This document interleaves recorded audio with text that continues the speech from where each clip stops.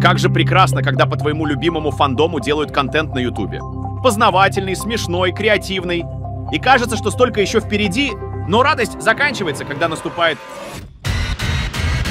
Выгорание. Комьюнити ромпы постепенно умирает. Основная сюжетная линия была закончена, следовательно, чем меньше контента, тем меньше аудитория. Поэтому снимать контент по ромпе – бесперспективное занятие. Наверное, это из-за того, что я выгорел, а может из-за того, что сама ромпа мне уже надоела, и мне по ней просто нечего рассказывать. Прости, пожалуйста, что я не выпускаю видео, мне правда очень стыдно, но я, видать, в депрессии или тип того. Ронпу я вряд ли больше буду делать. Сегодня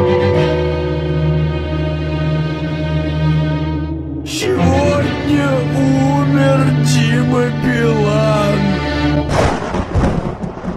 Не дождешься, я не дам тебе просто так умереть. Разряд! Все, наверное, без меня в курсе, что означает термин гиперфиксация. Возможно, именно ты, человек, состоящий сейчас в каком-нибудь фандоме, ища о нем дополнительную информацию, подвержен данному состоянию. Ты становишься настолько зациклен на какой-нибудь вещи, что начинаешь жужжать о ней в любой подходящий момент любому встречному человеку, который даже, возможно, не шарит, что это такое. А тебе все равно, ты продолжаешь, и продолжаешь, и продолжаешь твердить об этом долгое время. Но сколько времени это состояние может длиться? Недели, месяцы, годы, а может целых 6 лет? Да, здравствуйте, я ютубер Вон Вип, и я уже как 6 лет помешан на такой франшизе, как Данганромпа. Спасибо, спасибо. Я здесь буду еще, наверное, лет 30 на...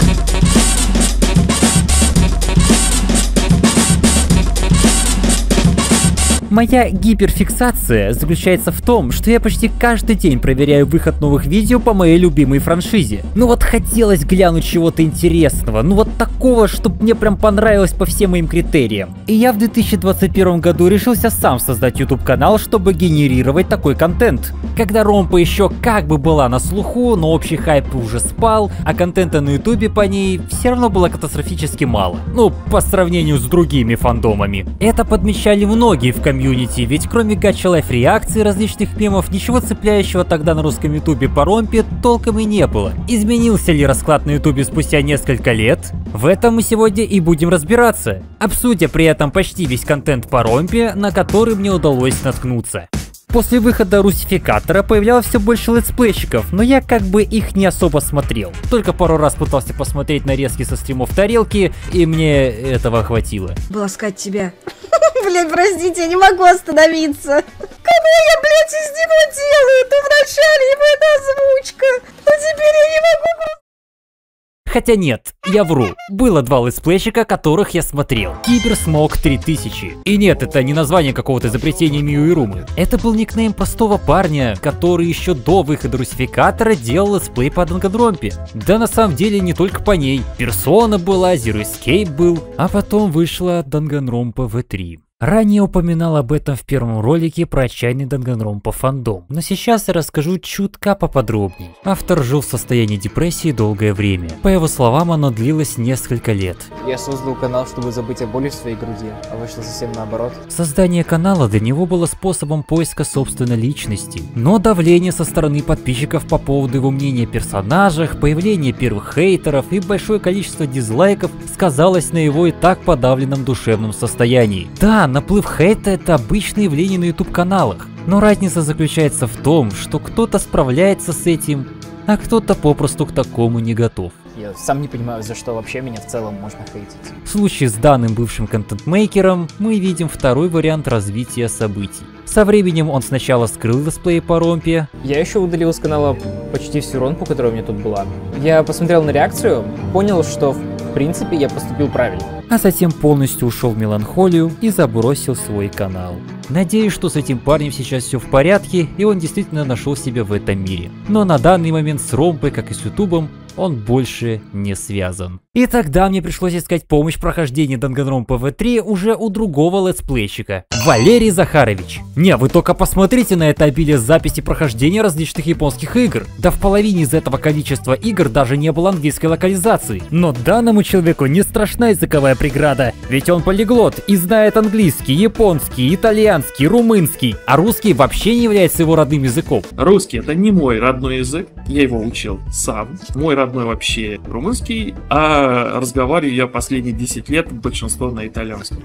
Он мог вещать на любую аудиторию, но выбрал именно русскую. И благодаря этому фактору, некоторые познакомились с Данганромпой благодаря его летсплеям. Да, у нас в то время не было ваших тарелок и Никейти. Нам приходилось смотреть перевод ромпа человека, у которого русский язык даже не был родным. За это ему респект и бесконечное уважение. А если кто-то хочет посмотреть, как он проходит некоторые игры на трансляциях, вот вам в описании ссылка на его Good Game. Поддержите данного человека, ведь для некоторых он действительно многое сделал. А теперь мы переходим к каноничному событию. 2020 год. Быстро пробежимся по всем популярным каналам по ромпе того времени. Крысиный канал. Если кратко описать контент крысиного канала, то это... Всякие машинимы со спрайтами персонажей и звуковой дорожкой из уральских пельменей. Да, спасибо, Тайфун, это описание идеально подходит. Фалати, она же Чикен Макнагита. Беременна в 16, давай поженимся, измены. Простите, а я точно сейчас не расписание телепередач в газете читаю? Что до самого содержания... Моя жизнь была охуенной, пока я не узнал, что беремен. А ведь по этому контенту многие сейчас скучают. Настолько этот формат всем понравился, что фанаты начали создавать свои уже каналы с похожим содержанием. Хоть два этих канала уже не активные, но их наследие до сих пор живет. Креативный переводчик не особо увлекался анализами персонажей, да и больше предпочитал авторский контент, нежели переводы зарубежных каналов. Хотя про отсылки и неиспользованные казни мне было интересно послушать. Но также мне было интересно послушать про ситуацию, в которой КП обвинялась в дезинформации людей, так как она брала информацию из вики Данганромпа фандома. Тогда пользователь DJ Frost решил провести некий тест на позера и разобраться в причине такой доверчивости к некоторым источникам информации. Он решил даже записать про это видос, о котором я тоже упоминал в своем первом ролике. В то время развивались различные РП-проекты по Данганромпе в Гаррис Моде. Первым таким проектом был Данганромп Онлайн. Про РП составляющие я когда-нибудь расскажу в других видео. Можно сказать, что там образовались свои подфандомы. Но пока я могу перенаправить вас на канал Итшура. Человек больше разбирается в данной сфере, следит за РП-проектами и посвящает новичков во весь этот движ. Даже вот, смог позвать того самого Эмиля. Ну тот, который... И вот мы подходим к 21 году, к моменту, из-за которого мы сейчас здесь находимся.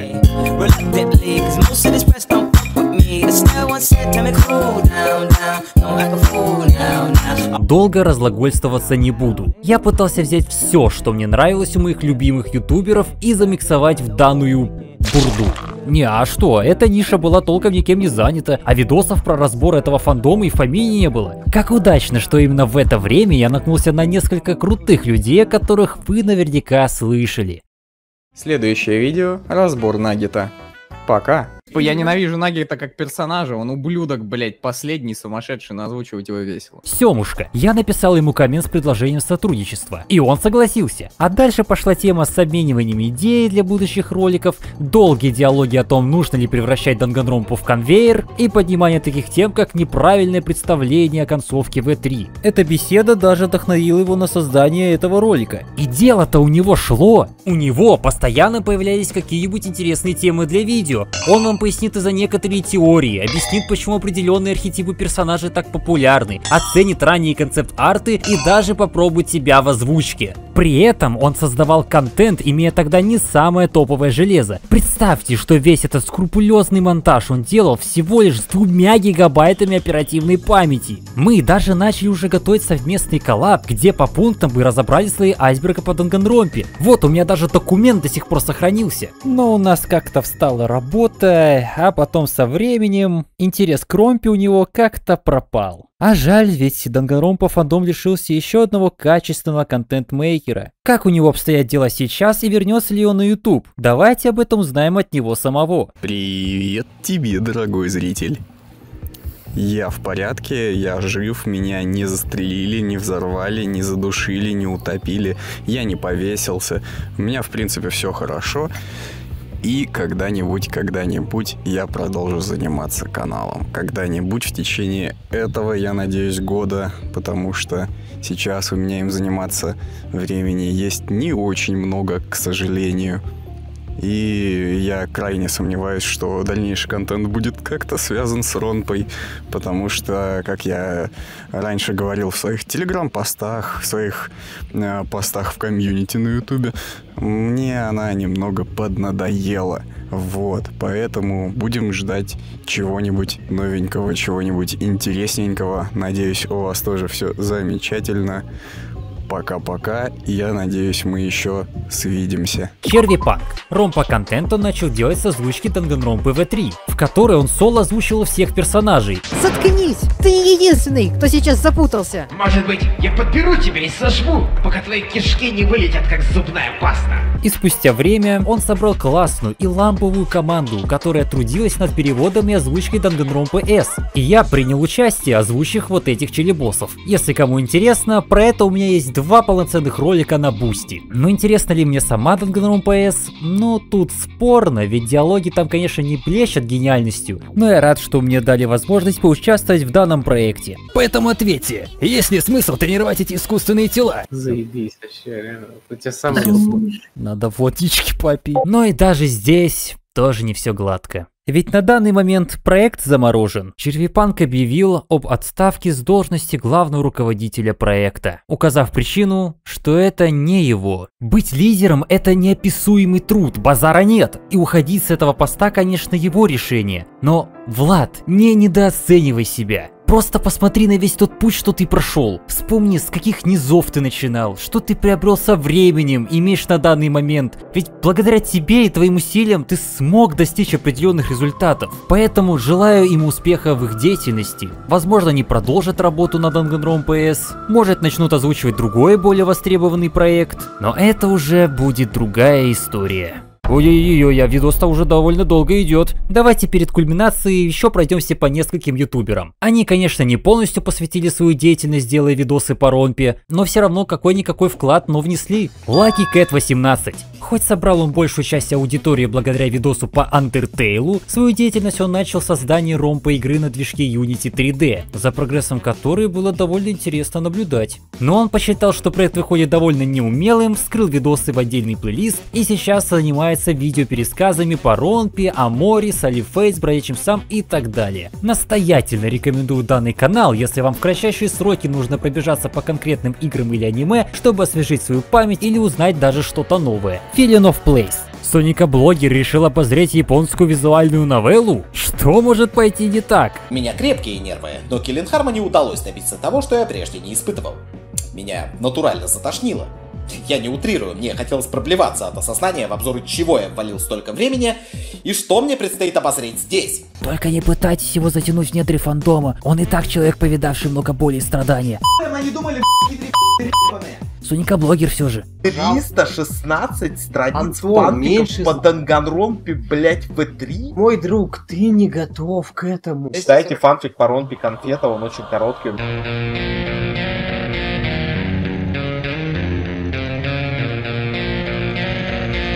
Тайфун ТВ. Ну ладно, без комментариев. Тут не то, что по ромпе видос приходится ждать. Тут вообще выход любого видоса считается целым событием. Я его включил в этот список, ну так, карандашиком. Его вот эта финальная фраза Контента по самой игре его крайне мало, и я здесь, чтобы это исправить. Если я не сделаю, никто не сделает. меня заинтриговала. А Тайфун-то на русском ютубе далеко не последнее место занимает. Поэтому поживем увидим. Может все-таки он что-то да и снимет.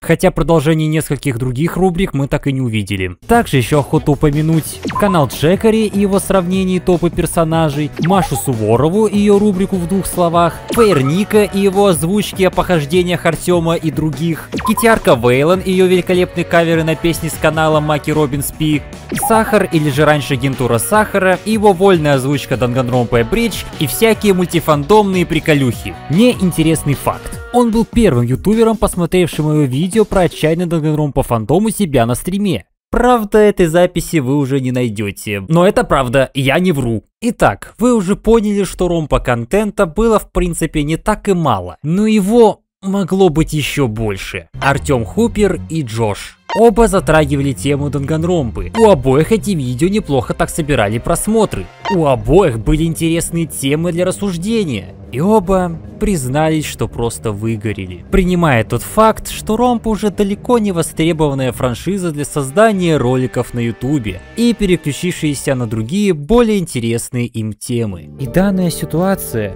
связанная с ютуберами, которые из-за выгорания, переосмысления насчет тематики канала, наплыва хейта или личных сомнений прекращали снимать контент по Данганромпе, вызывало у меня, как у одного из таких контент-мейкеров, чувство грусти и какой-то потерянности. Да, Ромпа не может быть вечной, но следя за Данганромпа фандомом, уж слишком мне сильно бросилась в глаза данная закономерность. Ведь эти люди интересовались Данганромпой и планировали дальше делать контент по ней. Но уже на этапе написания сценария или на стадии монтажа их что-то останавливало. Это уже какая-то шиза, но в одно время я действительно начал считать, что этот фандом проклят, и кроме смешных видосиков с звуковой дорожкой из уральских пельменей, лучше в нем ничем не заниматься. Как будто над ними летал злой дух и шептал им на ушко «Не лезь, оно тебя сожрет». Ненавижу СМР, кстати. Ну как-то не прет авторский контент по Данганромпе, ну и все тут. А ведь для меня это довольно важная тема, и пройти мимо нее я никак не мог. Изменится ли положение дел в будущем? Поживем увидим. Анонс новой игры от Кадаки в ближайшее время нам ждать не стоит, что могло бы сподвигнуть людей вновь интересоваться этой франшизой. А создание запланированных ромпа видосов у оставшихся ютуберов сейчас не стоит в приоритете. Одно я могу сказать точно. Я благодарен всем, абсолютно всем людям, которые уделили внимание данному фандому. Снимали летсплеи, смешили мемами, делились мыслями и просто делали всяческий контент по ней. Ради этого мы даже собираемся на стримах, чтобы совместно провести время за их просмотром. И это действительно кайфовое ощущение. У каждого была разная причина создавать YouTube канал и разная вовлеченность в производстве контента по ромпе. Но так или иначе мы посвящали ей время. И этим она всех нас объединяла.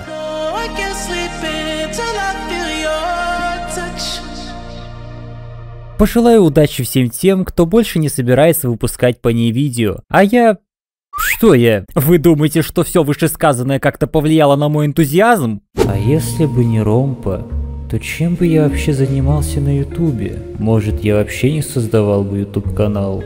Да и идей по ней рано или поздно больше не останется. Но о чем бы я хотел поведать на канале кроме ромпы? Может все-таки параллельно с ромпа контентом начать делать что-то еще? Ну так, на скидку, я сейчас небольшой списочек напишу, ну о чем я мог бы еще рассказать?